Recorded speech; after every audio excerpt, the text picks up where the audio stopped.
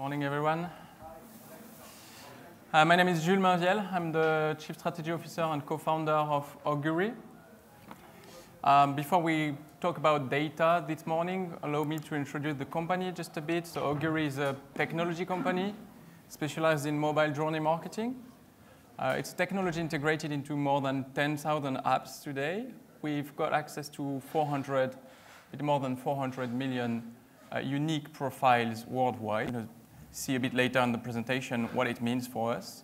Of course, our solution is 100% GDPR compliant. It means that all the data we have access to is um, consented data. All the users accepted to share the data uh, with us. Um, our uh, technology, our company, is today trusted by more than 900 brands, global brands all around the world.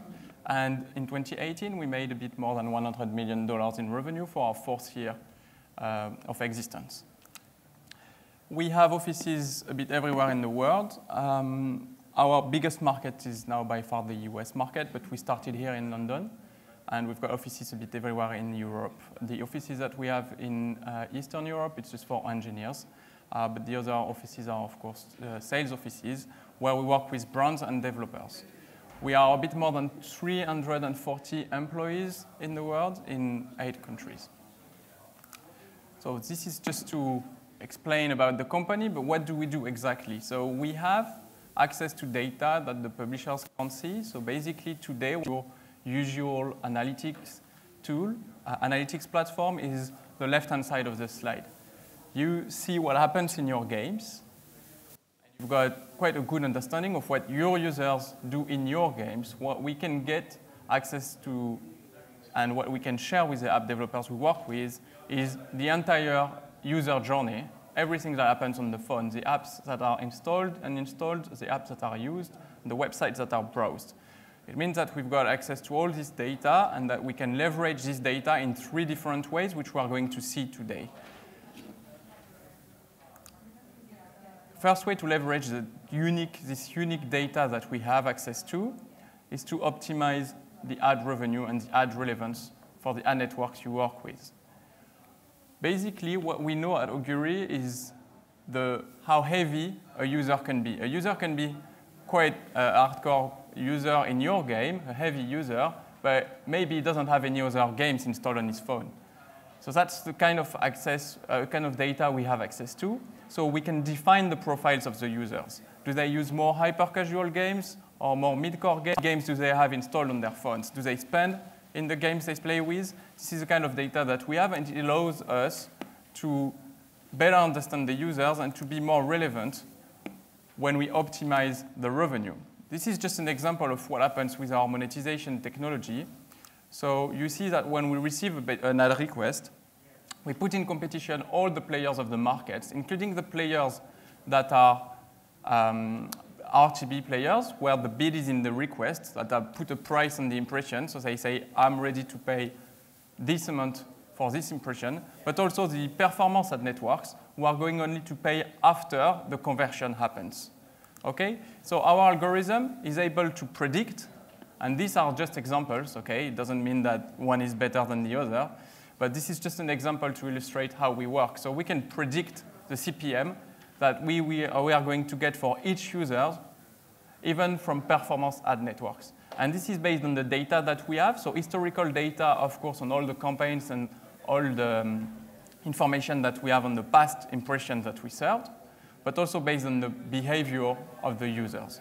And this is accurate in the prediction that we make for the revenue, and it allows you as a publisher, as a game developer, to really uh, get the most of each impression and make sure that even that you can put in competition RTB players with performance players and make sure that you've got the highest revenue possible for each impression. Okay, this is based on the, again, on the unique uh, data that we have on all the users. And this is what allows us to achieve great results. This is just a slide just to illustrate um, how it worked for a publisher called eSchool. That's a, a game publisher um, that has several uh, kinds of games, including card games and um, word games. Um, the ARPDAU increased by 31%, and you can see that, uh, of course, when the ARPDAU is higher, you can invest more, so the revenue increase. Um, uh, in this case, increased by, um, has been multiplied by three. So this is the first way to leverage the unique data that we have at Ogury and that you can get access to by working with Ogury is to, again, to match the behavior of the users with the right ad network and make sure that you put the right ads and the right ad networks in front of each user. The second way is for sure is for you to understand better your users and your competition. We've got a platform called Active Insight. I'm not going to spend too much time on this. What you can access, get access to if you log in on the platform that is, that is free for, for all the uh, app developers. You can understand in every app in the market the activity of the users. So again, not just your users, but any app of your competition, you can understand how much time they spend in the app how many sessions, the time per session, and everything. And this is based on the um, anonymous data that we have and unique data that we have at Ogury. And this allows you to put uh, your figures in front of your direct competitors to really understand if you're doing well, better, or not as good as your direct competitors. This is a second um, example, and we've got, uh, of course, many, many screens in this, in this tool called uh, Active Insight. This shows um, where your users or where the users of a specific app are coming from. Okay, you compare two apps here, and you see if uh, the users are coming from the other apps, if there are new users of those two apps. So you can clearly understand better the churn of your users.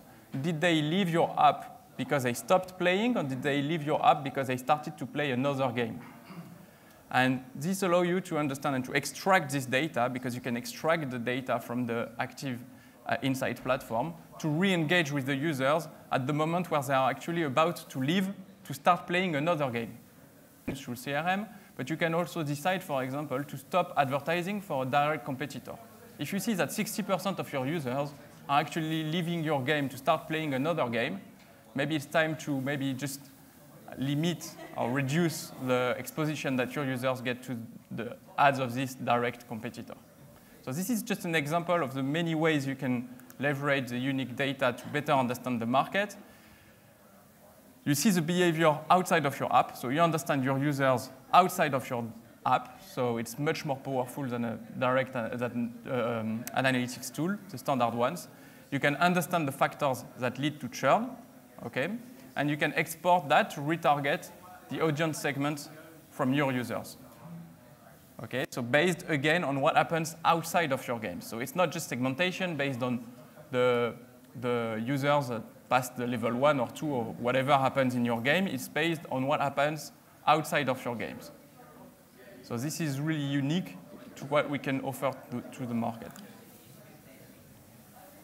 The third way to leverage data is something I think is very uh, powerful for all game developers, is that we can attract brands when we understand the users better. We all know that the uh, game industry is booming. This is coming from Newzoo, but I mean, we all know that are everywhere, the market is booming, and we have more mobile gamers than PC gamers or console gamers, for sure. But in the same time, we are no longer talking about the teenager play, players that are playing zombie games in their, in their rooms. Okay? We know that the hyper casual, even the mid-core and casual gamers are women. They are a bit older than the traditional PC or console gamers. So they can be really attractive for the brands. And this is data that is coming from our um, data set. So it's based on, um, uh, I think on this one, it's based on 40 million profiles where we compared uh, 50 different apps and the gender and age on those apps to really understand um, the profiles, the unique profiles of each category of games. We can see here, of course, that the hyper-casual games have more women than the mid-core games. I say of course because it's something that instinctively we would have thought, but here we have data to back this up, and we can see that the um, casual gamers are a bit older than the mid-core gamers uh, in this example. So this, this is the kind of data we have access to. And it shows that you have in your games users that are attractive to brands again. And it's a real challenge. This slide comes from Iron Source. It shows that budgets in hyper-casual games remain the same. There is no growth. And it shows that the hyper-casual games advertisers are the biggest advertisers in hyper-casual games. And we all know that it's a challenge. We, all, we are all talking about attracting the brands in our game. We know that it's something that we have to do because of the fatigue as well. We know that in, our, in, in your games, the users are very often exposed to the same kind of ad for the same games, and it's something that we all want to change. The data, the unique data that we have, allows you to get access to those brands.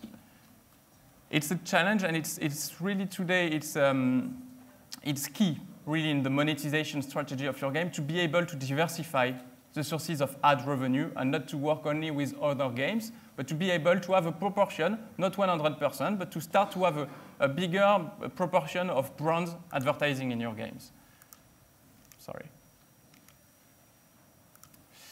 And when I say brands, this is the kind of campaigns that we run at Ogury. So I'm not talking about just app install games without a CTA. I'm talking about like uh, video um, interstitial branding. So this is just a couple of examples for um, we've got Bose, we've got um, Microsoft, Coca-Cola, Red Bull. This is the kind of brands we work with.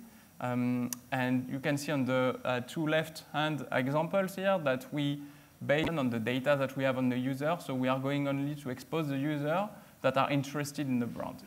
And the engagement rate is much higher with these kind of ads uh, than with the other, of course, ads. And, that's, and the CPMs are, of course, much higher as well.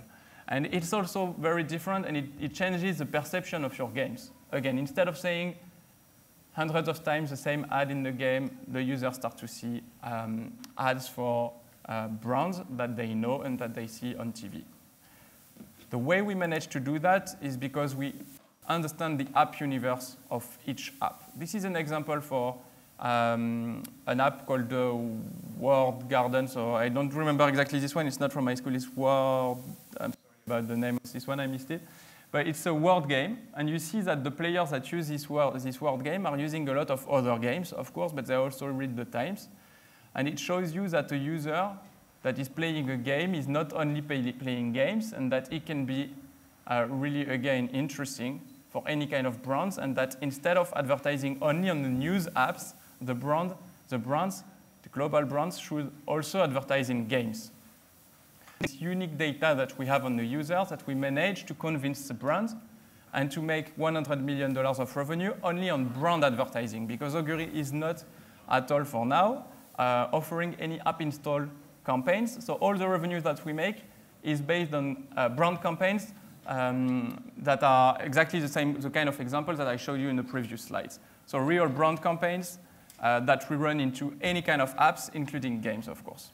So this is an example of App Universe. This is something that is free of access, again on Active Insight, that you can see for your own games, and you've got all the filters uh, per period, per whatever uh, information you want, to, you want to filter them. And this is just an example of some brands, we, we, a list of some brands we've been working with. So again, 100% uh, of the revenues that we make at Ogury is based on brands. And more than 80% of those brands are running into games. So that's been a challenge for all the game developers to be able to attract brands, and Ogury is finally allow, allowing you as a game developer to, to, to run those brand campaigns for real. The last thing, of course, because we are talking about data, is how you can gather the data and how you can do this in, into a GDPR compliant way. Uh, GDPR has been passed a couple of months ago now, but we see, and I'm sure you see as well, that some game developers, and not only game developers, any kind of app developers, are not always following strictly the rules of GDPR, if we can say that. It's strategic and it's very vital for you to be able to understand how you can optimize the consent rate because you need to do it in a proper way and the, just a big OK button is not legally compliant with GDPR. So it's something that you need to change as a game developer. All the uh, CMP, all the consent management platforms that you have in the games that have only one button saying, yes, I accept, yes, I want to play, are not GDPR compliant, which means that all the data that you have, all the partners that you have in your app, if your um, consents are gathered in this way, is not GDPR compliant, which can, of course, cause some troubles in the future. So what we offer to our publishers, this is just an example of a very blank and, and the most simple um, consent notice that we can display. Everything can be customized in the platform, added, uh, changing the colors, adding um, a logo and whatever. And this is just um, an example of a real uh, GDPR compliant consent notice. Refuse and accept all, where you see all the purposes of the data collection. And this is something that we provide for free again to our publishers so they can gather the data for all their partners, add partners, but also uh, tracking uh, partners. And all the uh, uh, developers that are using this platform can customize, again, add a logo, add an image, change the text, customize uh, the buttons, or they can also let our uh, dynamic uh, creative optimization optimize the colors on the button to make sure that the opt-in rate is as, as high as possible, of course remaining GDPR compliant. And, and you can track in the platform the, um, I don't have a screen here, sorry, but you can track, of course, the opt-in rate per app, per asset, per day. You can decide how frequently you want to re-expose the users who say no to data collection, the message that you want to display if they say no, to re-expose them and for, to make sure that they understand that it's vital for you uh, as a game publisher to gather data to monetize the game. And this is um, the way we collect data at Ogury for us to be able to attract brands, but also to share the data that you show in Active Insight and to make sure that we optimize the revenue for our publishers. So we've been experts in collecting consented data since 2014, and now the platform is available to all the publishers who want to uh, optimize the consent notice while uh, GDPR compliant. Just in a nutshell, this is what we call our uh, blueprint. At Ogury, just to, uh, to finish on the presentation, everything starts with a consent notice. So everything starts with a consent manager. We have approximately 50% of the users who say yes to the consent notice. It shows that it's not forced. It shows that it's real consent, that the user really has the choice to say no and to say yes. Once we've got the consent of the user, we collect raw signals. It means that the data that we have access to is generated by our um, um, algorithm we don't have access to the data directly. Um, it's probabilistic based on the raw signals that we see uh, from, the, from the data that we collect. So we generate the data and we provide insights to the publishers and to the brands.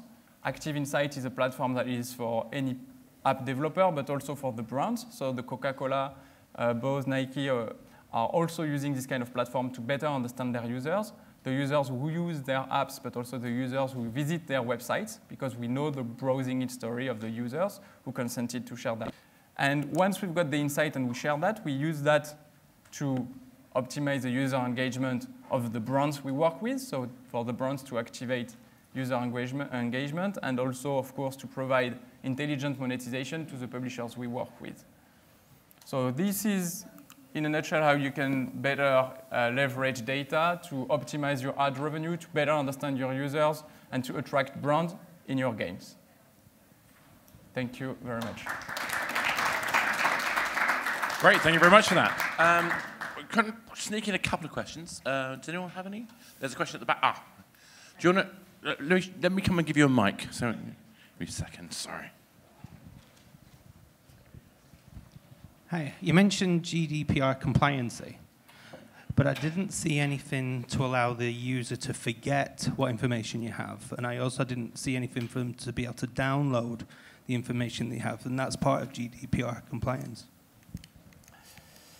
Uh, let me show, let me come back to an example of the ads. So in every ad that we display, there is a button in the, there is a button in the bottom of the screen that allows the user to opt, opt out. That's a white banner here on, the, on those two examples. That's also a screen that all the app developers, that we, we provide the API for that, and all the apps add that in the settings of their apps. Of course, we don't do the design of the apps. So in every ad that we display, there is this button to opt out. But then it's, it's to the app developers to opt out and to, and to opt out and to ask to erase the data. Of course, Yeah, so, every, so if you go on ogury.com slash privacy, you can ask and get the data that we've got on, on your uh, uh, Android advertiser ID. Great, and, thanks for that, because I think that's an important thing. We want to be able to have assurance that we're doing things appropriately. And you know, as long as we're doing the best we can, uh, and we're within the legal system, that's great. And I think the fact that you've got the tools there to make it easier for developers to do it, that's great too.